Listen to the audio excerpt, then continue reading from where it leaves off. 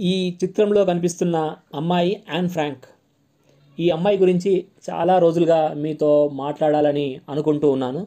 కానీ ఇప్పుడు సమయం సందర్భం వచ్చింది కనుక ఇప్పుడు ఈ అమ్మాయి గురించి కొన్ని కఠినమైనటువంటి వాస్తవాలను ఆ అమ్మాయి రాసినటువంటి డైరీ గురించినటువంటి కొంత వ్యాఖ్యానాన్ని మనం చూద్దాము. నిజమే ఇలాంటి డైరీలో ఇంత బాధ మనకు వద్దే వద్దు అనిపించేటువంటి కథ అమ్మాయిది.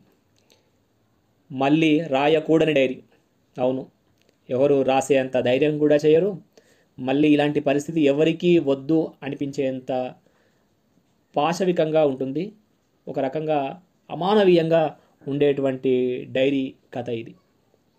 ఉదయం ఎనిమిదిన్నర తర్వాత మీరు టాయిలెట్లో ఫ్లష్ చేయకూడదు. తల్లితో ముద్దుగా పోట్లాడకూడదు. నడిచి వెళ్ళి తండ్రి ఒళ్ళో కూర్చోకూడదు. చిన్న బొమ్మ కారు ఉంటే దానిని నేల మీద జుయ్ జుయ్యమని వదలకూడదు. మాట పలకూడదు శ్వాస బలంగా తీయకూడదు. మీరు బతికే ఉంటారు. కానీ మీరు బతికి ఉన్నట్లు తెలియదు తెలియకూడదు. గాలి వెలుతురు రాని చిన్న గదుల్లో దాక్కొని ఉంటారు. కిటికీలో నుంచి తొంగి చూసే స్వేచ్ఛను కోల్పోయి ఉంటారు. బయట ఏమి జరుగుతున్నదో మీకు తెలియ తెలియనే తెలియదు. బయట ఏమి జరుగుతున్నదో మీకు తెలియనే తెలియదు. రాత్రిళ్ళు ఉండి ఉండి బాంబులు దద్దరిల్లుతాయి. సైరన్లు వికృతంగా మోగుతాయి. మరఫిరంగులు విరేచనాలు చేసుకుంటాయి. ఎవరో ఎప్పటికీ కనిపించని కొందరు మనుషులు బాధగా కేకలు వేస్తారు.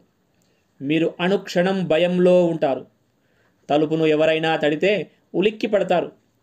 చావు దాపునే గుసగుసలాడుతూ ఉంటుంది. ఇలాంటి నిర్బంధంలో మీరు ఎన్ని గంటలు ఉండగలరు? ఎన్ని నిమిషాలు ఉండగలరు? ఎన్ని సెకండ్లు జీవన కాంక్షతో బతకగలరు? ఇది ప్రశ్న. కానీ ఒక పద్నాలుగేళ్ళ బాలిక ఎన్నాళ్ళు అలా ఉందో తెలుసా? ఏడు వందల అరవై ఒక్క రోజులు. మనుషుల మీద ఎంత విశ్వాసం ఉంచుకుందో తెలుసా? ఏడు వందల పద్నాలుగు పేజీలు. The diary of a young గర్ల్గా జగద్విఖ్యాతమైనటువంటి అనా ఫ్రాంక్ డైరీ హిట్లర్ నరమేధంలో మీద కాలంలో రెండేళ్ళ పాటు లిఖించబడి నేటికి ప్రపంచాన్ని ప్రపంచం మొత్తాన్ని కదిలిస్తూనే ఉన్నది. కన్నీరు కార్చేలా చేస్తూనే ఉంది. మానవత్వం కోసం ప్రాధేయపడుతూనే ఉన్నది. నేను నా చుట్టూ ఉన్న వాళ్ళనే కాదు ఎప్పుడు ఎరగని వాళ్ళను కూడా సంతోషంగా ఉంచదలుచుకున్నాను అని రాసుకుంది అనా ఫ్రాంక్ తన డైరీలో. జూన్ పన్నెండు పంతొమ్మిది వందల నలభై రెండు అనా ఫ్రాంక్ పదమూడవ జన్మదినాన్ని ఆమె తండ్రి ఎర్ర రంగు చెక్స్ ఉన్న డైరీని బహుకరిస్తాడు. ఫ్రాంక్ఫర్ట్ నుంచి వలస వచ్చి ఆమ్స్టర్డామ్లో స్థిరపడ్డ ఆ యూదు కుటుంబంలో అనాఫ్ కుదురులేని పిల్ల. ఆకాశాన్ని గాలిపటంగా ఎగరవేద్దామనుకునే గడుగ్గాయి. గెంతులేసి గొర్రెపిల్ల కనిపించిన? గెంతులేసే గొర్రెపిల్ల కనిపించిన? కొమ్మలూపే చెట్టు కనిపించిన? హాయిగా నవ్వే మనిషి కనిపించినా? పులకించిపోయే అమలిన శిశువు ఆమె కానీ రెండవ ప్రపంచ యుద్ధం మొదలైన మూడేళ్ళకు నాజీ సేన నెదర్లాండ్ను హస్తగతం చేసుకున్నది.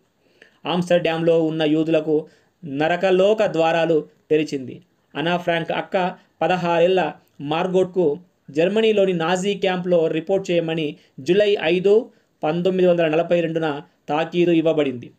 అంటే ఏమిటో ఆ యూదు కుటుంబానికి బాగా తెలుసు. ఆ రాత్రే తండ్రి అనా ఫ్రాంక్ను పిలిచి మనం ఇల్లు విడుస్తున్నాం. నీ స్కూల్ బ్యాగులో పట్టే నీ వస్తువులే పెట్టుకో అంటాడు.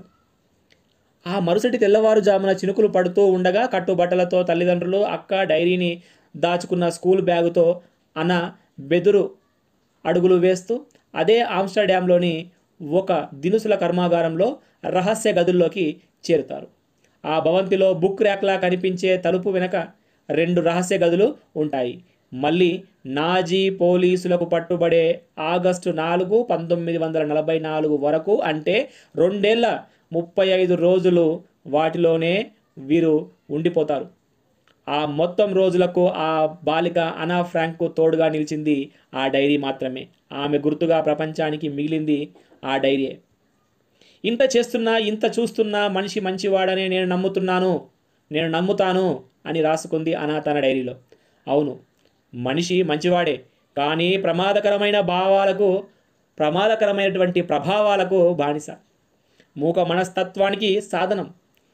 పాలనాపరమైన సమర్థింపు ఉందని భావిస్తే చెలరేగే క్రూర మృగం మనిషి.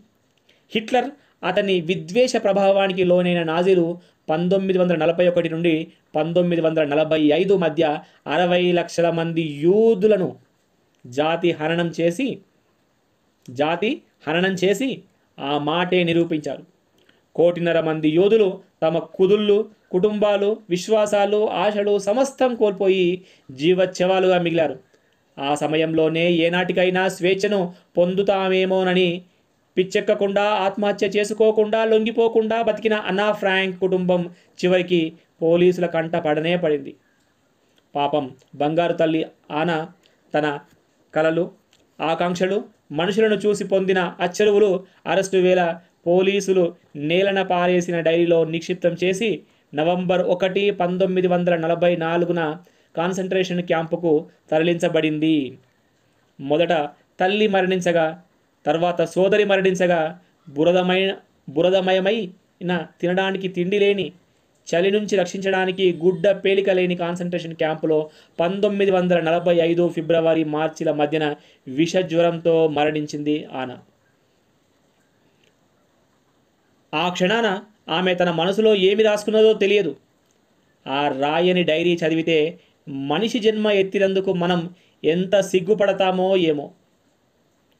పంతొమ్మిది వందల నలభై ఏడులో ఆనా ఫ్రాంక్ మొద్ డైరీ మొదటిసారిగా డచ్ భాషలో ప్రచురితమైంది. పంతొమ్మిది వందల నలభై ఏడులో డచ్ భాషలో మొదటిసారిగా ప్రచురితమైంది. నేటికి డెబ్బై ఐదు సంవత్సరాలు పూర్తయిన సందర్భం సందర్భంగా ప్రపంచమంతా ఆ మనోహరమైన బాలికను తలుచుకుంటూ ఉన్నది.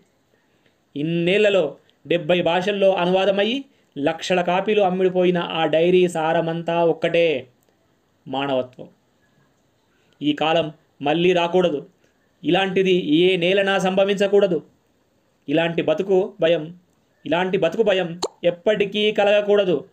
మాటి మాటికి వీధుల్లోకి తొంగి చూసి మనుషులను మనుషులకు స్నేహంగా చేయి ఊపాలనుకునే ఏ చిన్నారి ఇలాంటి డైరీ రాయకూడదు. ఎప్పటికీ ఇలాంటి డైరీ వద్దే వద్దు అని సాక్షి ఎడిటోరియల్ జూన్ ఇరవై ఏడు రెండు వేల ఇరవై రెండున ఈ అద్భుతమైనటువంటి వ్యాసాన్ని ప్రచురించింది.